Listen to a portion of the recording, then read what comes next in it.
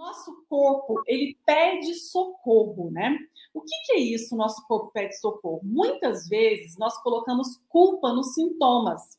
Então, muitas vezes eu tô cansada, desanimada, eu acordo cansada, a minha barriga tá inchada, o meu corpo tá inchado, até o rosto mesmo inchado, né?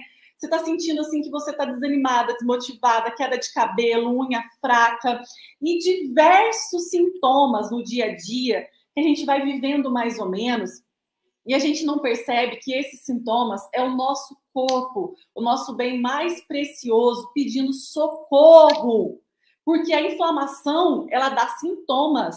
E se a gente aprender a ler o nosso corpo, a gente consegue identificar esses sintomas. E muitas vezes o metabolismo lento é um sintoma.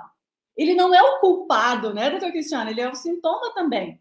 Então, eu gostaria, doutor Cristiano, que você falasse um pouquinho dessa relação, né, da obesidade, é, o sobrepeso com a inflamação. A relação né, entre a obesidade e a inflamação é estreita, né? Então, não existe obesidade ou sobrepeso sem inflamação e não existe uma inflamação crônica que também não gera obesidade ou sobrepeso. É um ciclo vicioso, uma coisa alimenta a outra uma coisa é consequência e causa da outra ao mesmo tempo. Nesse slide a gente vai ver os dois tipos de obesidade mais comuns, né? Aquela obesidade mais central, que é o formato de maçã, é a gordura visceral, e a obesidade é que tem menos gordura visceral, mas que também é ruim para a saúde, né? Que é aquela obesidade mais nos quadris, no bumbum, nas coxas aí. Todas as duas têm problemas e todas as duas estão relacionadas com desbalanço hormonal.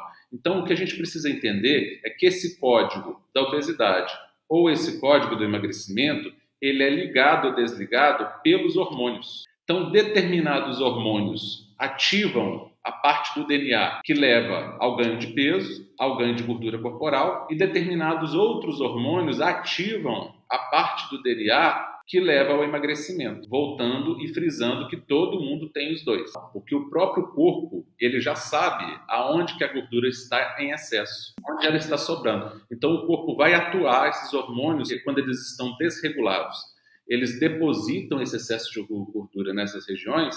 Ao se tornarem regulados, eles também vão queimar essa gordura primeiro.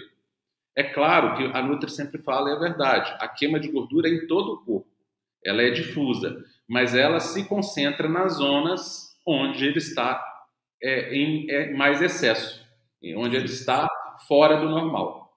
E é isso que é o bonito, porque isso é natural, é um processo natural e automático quando você é, ativa esse processo, ele é automático. automático. Por isso que a gente fala que o emagrecimento hormonal ele é natural e espontâneo. Natural por quê? Porque ele é baseado em coisas que você faz né, naturais, né? Na alimentação, vão além da alimentação, outra, outras coisas que vão além da alimentação. Qualquer pessoa pode fazer no dia a dia. Tem a ver com o seu padrão de sono, enfim, várias coisas que você vai melhorar, vai pode melhorar, não importa em que situação você esteja, você tem condição de ajustar, isso vai ajustar os seus hormônios, vai fazer você queimar a gordura que precisa ser queimada.